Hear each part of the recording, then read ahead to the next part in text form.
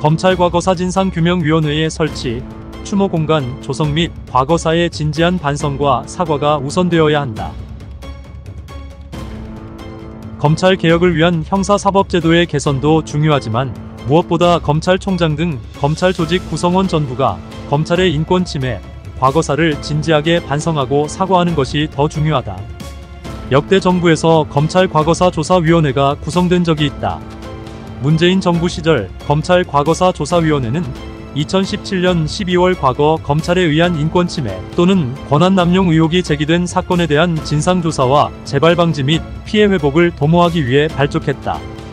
과거 사위는 수많은 논란 끝에 18개월간 활동을 하면서 1차적으로 김학의 전 법무부 차관 성접대 의혹 사건 2013년, 약촌 오거리 살인 누명 사건 2000년, 서울시 공무원 유우성 간첩 조작 사건 2012년 등 12개 사건, 2차적으로 장자연 리스트 2009년, 용산 지역 철거 사건 용산 참사 2009년 등 5건 총 17개 사건, 2개의 포괄적 사건을 포함해 조사했다.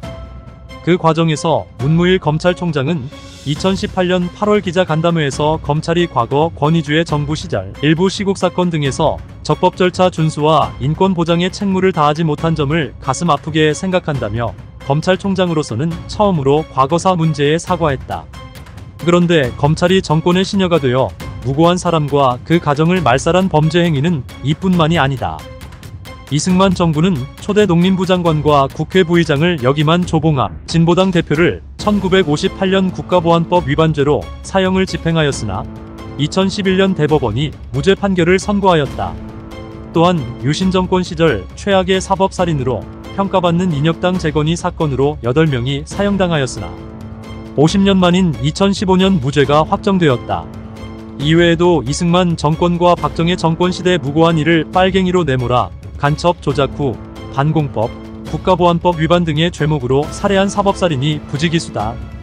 사법살인당한 피해자, 유족들이 수년 동안 법원의 재심 재판을 통해 무죄 선고받는 절차를 힘들게 거치지 않도록 검찰은 직권 재심 청구 제도를 적극적으로 활용하여야 한다.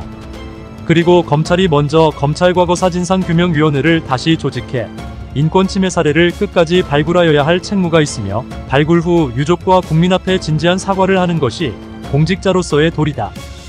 검찰의 수십 년 동안의 인권 침해적인 수사 관행과 조직 문화를 일대 혁신하는 것도 물론 필요하다. 덧붙여 해방 이후부터 지금까지 검찰 권력의 이루 말할 수 없는 인권 침해 사례를 낱낱이 기록하고 전시한 기업과 추모의 공간을 조성할 필요가 있다. 그래서 사법살인당하고 반세기 동안 간첩으로 낙인 찍혀 숨죽여 살아온 피해자와 유족들의 원혼을 달래고 한을 신원하여야 하며 국민들과 미래 세대들에게 다시는 이와 같은 일을 반복하지 않도록 지속적으로 교육하여야 한다. 검찰 개혁은 세계 최강의 권력을 가진 대한민국 검찰이 국민의 민주적 통제를 받는 것을 말한다. 모든 권력은 검찰로부터 나오는 것이 아니라 국민으로부터 나온다. 대한민국은 검찰공화국이 아닌 민주공화국이다. 정치검찰, 검찰정치 정치의 사법화, 사법의 정치화의 굴레를 벗겨야 한다. 수십 년 동안 민주정부와 시민사회단체가 추진한 사법개혁을 다음 국회는 완성해야 한다. 이것이 진정한 주권재민, 진정한 민주주의, 평화의 시대를 여는 첫걸음이다.